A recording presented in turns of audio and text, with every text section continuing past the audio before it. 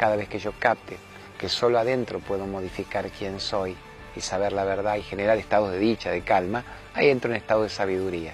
Entonces yo le diría a la gente que primero antes que engancharse en lo que está pasando en la tapa del diario y en el quilombo del Trump, del Putin, del coreano, de Cristina y de Macri del día, o en el intendente de Capilla y en el cambio climático es, ¿por qué no te planteas quién sos en esta vida? ¿A qué veniste?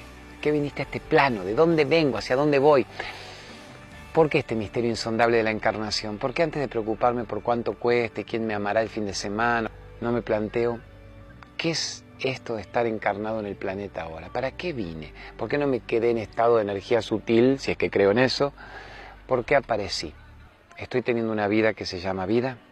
¿O estoy cumpliendo con la vida que me plantearon los otros? ¿Estoy siendo protagonista de mi propia historia?